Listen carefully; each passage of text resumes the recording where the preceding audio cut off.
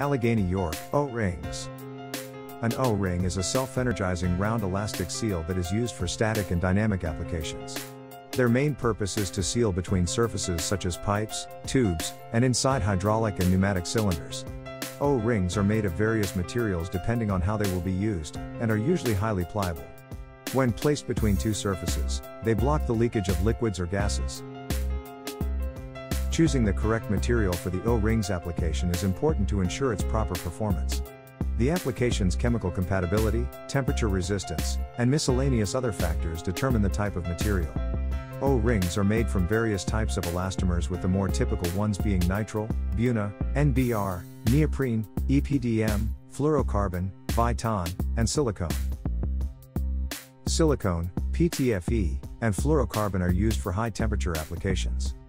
Silicone is only recommended for static applications.